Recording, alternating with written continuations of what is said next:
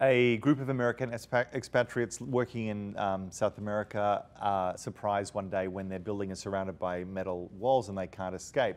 Uh, a voice comes on and tells them that they have a certain amount of time to kill a number of people or be killed themselves. Problems ensue, and hilarity ensues. A bunch of people kill each other. Yeah.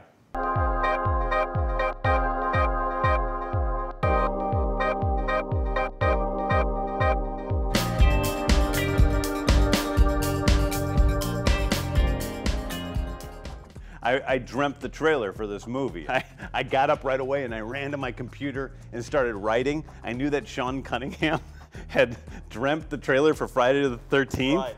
And I was like, I, I dreamt a trailer. like I finally, after all these years, I dreamt a trailer. And also, I was really excited to find out what happened because it set up this interesting premise and, and these characters, and I wanted to see what happened. And so the only way I could find out is by writing it through. Well, my agent sent me the script, and uh, and I emailed back. I, I, it was like Belko Experiment James Gunn, like, oh my god, I love James Gunn's movies. And I read it straight away.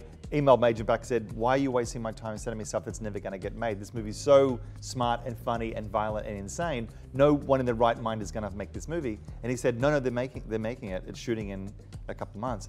And I just said, whatever I got to do to get onto this movie, just just get me onto it. Um, and so I just went in. I, you know, we set up a meeting. I think we had a phone call first. We hadn't met before, and um, I just you know blabbed and blurted out how much I loved it and my thoughts about it and what I thought it could be. And um, and I guess you know Peter and you kind of thought that what I was saying made sense, and we just went yeah. from there. I mean, I, I, thought what you were saying made sense. Also, I went back and watched your movies, and I and and I mean, I think that the thing was uh, a lot of people had told me how good Wolf Creek was.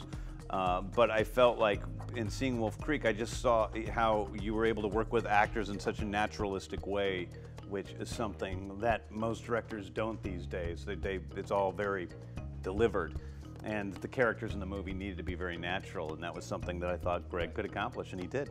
We had a quite a short pre-production period. James said, "How about this person? And the, uh, how about this guy? How about this guy? How about this girl?" The good part about that was they're all phenomenal actors. It's like, "Oh, what do you think of Michael Rooker?" I'm like, "He's, he's amazing. Can we get him?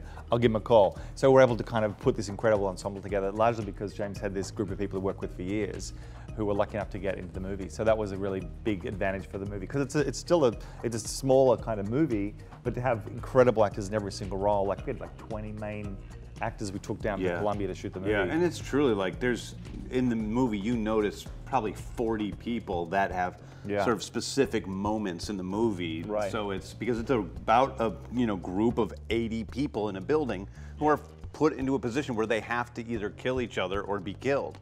And that situation, you know, means that we didn't want to treat any of those people if they were cannon fodder. We didn't want the movie to be just, you know, cartoons like in a lot of horror movies. We wanted them to be real people, which makes the movie all that more horrifying, really. Right.